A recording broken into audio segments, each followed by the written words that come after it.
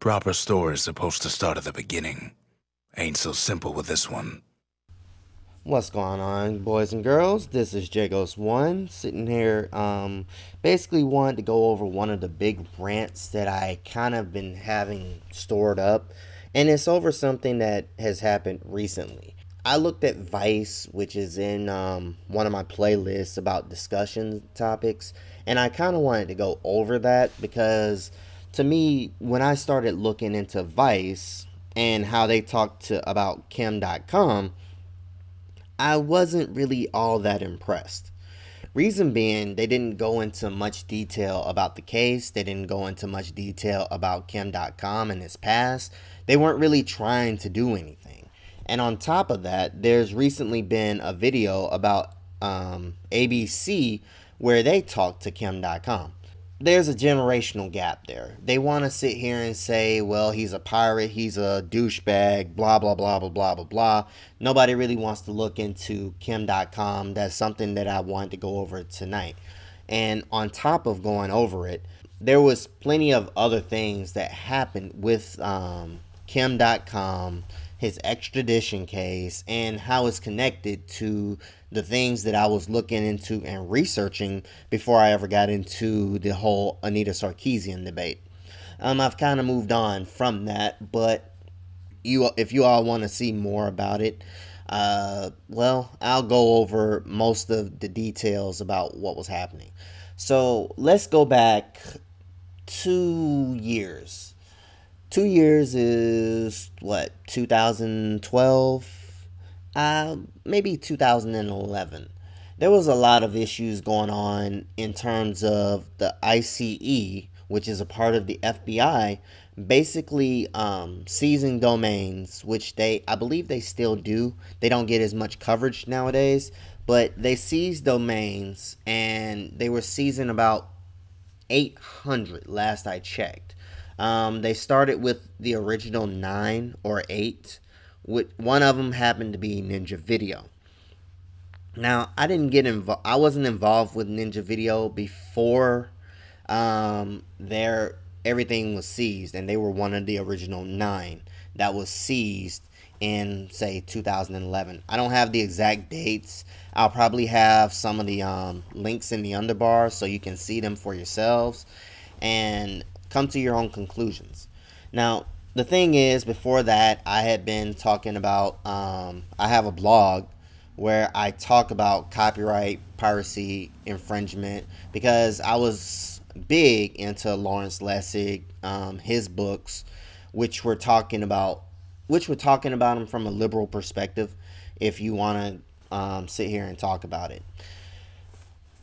Anyway, Ninja Video got their site seized. There were five people that were basically um, arrested, or not even arrested, but they were raided by the police officers for criminal copyright infringement, which no one had really paid attention to, but it was a law that was passed through the Pro IP Act. I'll have, again, all links are in the underbar reason that they were um, prosecuted is that um, basically the DOJ, ICE, they were getting tips from the Motion Picture Association as well as recording industry. Mainly, it had to do with the MPAA. Um, for the most part, ICE has been the private police force for quite some time. So they don't really like this stuff kind of reported, but they sit here basically when they say jump, the DOJ pretty much goes how high, and then they get embarrassed because there's not enough information. And if they had done a lot more research beforehand, they wouldn't have done that. Anyway, I got involved with Ninja Video. The main thing that I was doing, I was doing articles about piracy, talking um, to the people there um, in regards to just trying to see about what was going on with their case and everything. But to put a long story short, with um, everybody that was going there, they got railroaded. I mean, in terms of the raid, they had all their assets seized. They couldn't get that back. they were on the hook for maybe two million when they made thirty thousand dollars a month. I mean, you know, they had a decent job, but for example, they had DMCA and everything. Uh, the Digital Millennium Copyright Act gave them safe harbor if they took down content through a DMCA process, and they had done that, but Unfortunately, the DOJ says, well, you're going to have to take something. And if you don't, this deal is going to get worse. There was a plea bargain. I mean, all of this stuff is out out in the open. There's plenty of um, articles talking about it and how they had to cop a plea deal. Um, in terms of Hana Beshara and I believe Matt, it's been a while since I've talked about this. They all got hit with criminal copyright infringement for running a website that people could stream and see videos from, movies from. So, with that being said, there was no evidence. I mean, all of the evidence it pretty much been seized by ICE. They couldn't sit here and get the site. They couldn't get it was redirected. And there's plenty of top level stuff. I could go into technical details. I don't really want to, but basically, ICE took their site, took their money. They were railroaded. They got the full Aaron Swartz treatment. That's basically what I want to say. Now, this is connected to Kim Dotcom because Carpathia is the storage unit for both Ninja Video as well as Kim Dotcom. Now, Kim Dotcom is most of their content was on Megaupload, and at the time, Megaupload was a streaming site. And what would happen is ICE was telling Carpathia, hey, we need this and this for a criminal investigation. So Carpathia would send the message to Megaupload to hold these videos in question. So Ninja Video got railroaded. I really didn't have anything to do with Ninja Video. I don't have much to do with Ninja Video now. I mean, I know these people are still there, but I mean, I I kind of left the community because I got involved with the Anita Sarkeesian fiasco. Anyway, moving on. Um, Kim Dotcom was going through things himself where he wanted to have a music site that was set up for the artists. Now, Universal was big on opposing competition. And Kim Dotcom has a really shady past. I'll go to the Ars Technica site so you can see it in the underbar for yourself. The thing is, Kim Dotcom was starting to compete with Universal and Universal has connections to the recording industry because that's their lobbying group.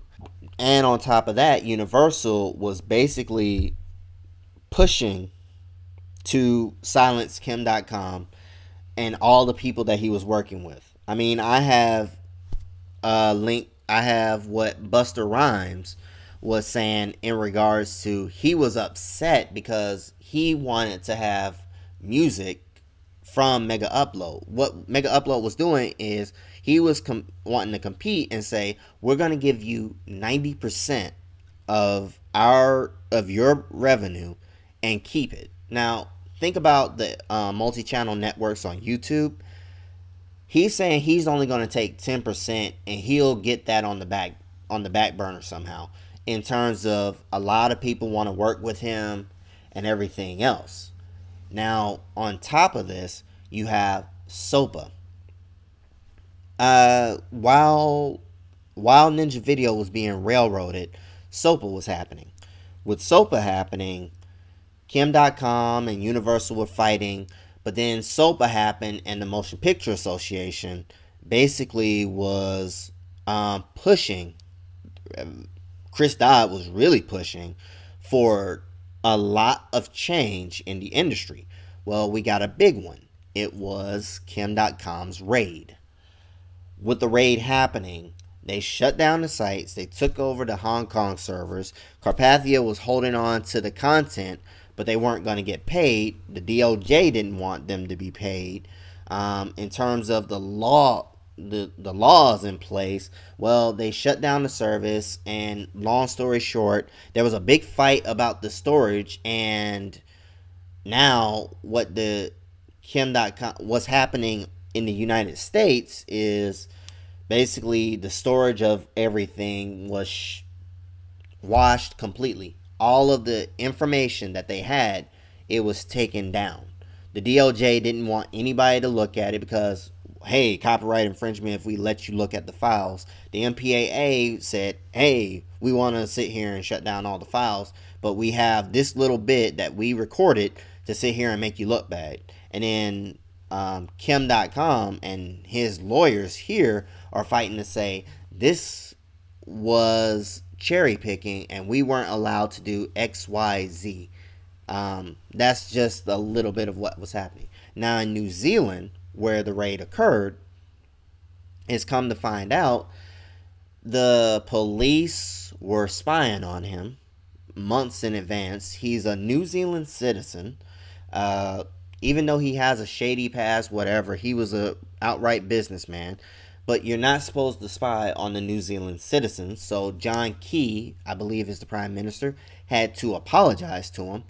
And I mean, in terms of you know he was the big guy through uh, through the Vice article you can see or the Vice video you can actually see what he's talking about there.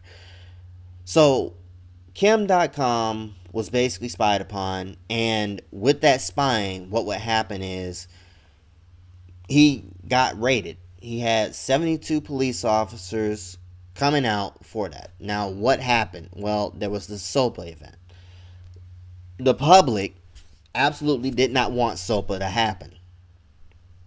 That moving on, they can go to the Trans-Pacific Partnership Agreement. That's something that people need to be aware of later on. But for now, in terms of SOPA, Chris Dodd was stating he wanted something in regards to spending all that money for the Democratic Party when he got he felt rejected. Now, let's pay attention to what Chris Dodd has had to say on the subject. Chris Dodd has been a lobbying force when he said he didn't want to go into lobbying. He went to the MPAA, though, which is the biggest lobbying group. I mean, this is Jack Valenti who said that the VCR is just like the Boston Strangler is to women. And that's been one of their money makers. The DVD has been one of their money makers. Every last type of innovation that has come out, the MPAA has been against, but then hypocritically makes money back. Hmm, sounds like somebody we know, just to put that into perspective. But I digress. So Chris Dodd um, basically throws a hissy fit.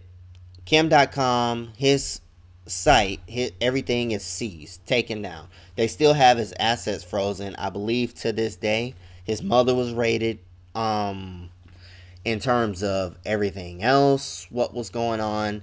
I mean, he got arrested, and all of the CEOs over there were pretty much arrested. That would force him to turn into an activist of to a degree. Um, if you look into Kim Dotcom, I believe honestly, if Universal were to work with him instead of her, trying to put him in jail, he'd be more than willing to do it.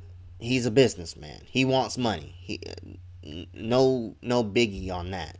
He's probably not going to look into security. He's looking into the government type deal, blah blah blah blah blah blah, because that's what went with him, went after him.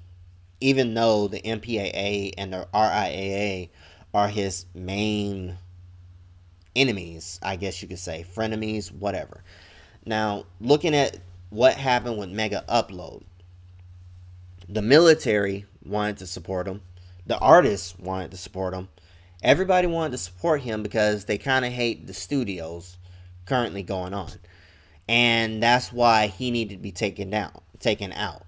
The recording industry, the motion picture industry, they kind of hated them for their own reasons. And they wanted to extradite him, put him in jail, I mean, seriously, that's pretty much what they wanted to do because they've had this precedent. And I believe 2008, Australia shipped over, extradited their own citizen had him locked up here for four years in the United States, and then had him shipped back, you know, lost wages, lost jobs. It made no damn sense. But the video is here on YouTube. Uh, I guess I'll throw up a link to there at the underbar. And just basically, you know, they want they had that precedent, they were pushing for it, but right now it's kind of stalled because they want to sue him in civil court and everything else. But there were so many things that were basically ham handed or this thing wasn't thought through all that much. It was a lot of emotion. Like, for example, Megaupload is not an American company. It doesn't have to follow the DMCA. It just chooses to do so because it's favorable to them to have that business climate working with the United States. Nowadays, maybe not so much because of what was going on. But in terms of for Kim Dotcom, they weren't served. I mean, the extradition, it's been rebuffed. There was illegal spying. And this case is looking worse and worse for the Australian government who listened to the FBI. And because they listened to the FBI and they wanted to score brownie points, basically, Kim Dotcom is looking more and more favorable as like this Robin Hood type figure. Again, don't be fooled. He still is a businessman. But in terms of, you know, fighting for our rights right now, he's a rich guy fighting for the common guy. But you do see that dichotomy in, in what's going on. He has money to fight and protect himself with expensive lawyers to prevent himself from being extradited, thrown into jail, like how the DOJ wants him. And even um, Eric Holder, even though he said something, he's like, "Well, I'm not going to say much about the case, but we still want to get him for ex for criminal copyright infringement." Which is a bogus claim. But again, I'm not going to get too much into that part. But as you can see, there's a lot of things that have been going on that weren't talked about by either Vice or ABC, which really kind of annoys me as someone who's been following the Kim Dotcom, Ninja Video, Rojadirecta, the Jazz One, all of these people that have had domain seizures, which no one has been talking about. So, after that, what has been going on in terms of Kim Dotcom and everything? He's been releasing white papers and everything else. And if you go to Reddit, you'll see these things pop up. I mean, Ira Rothken is one of the people on his defense.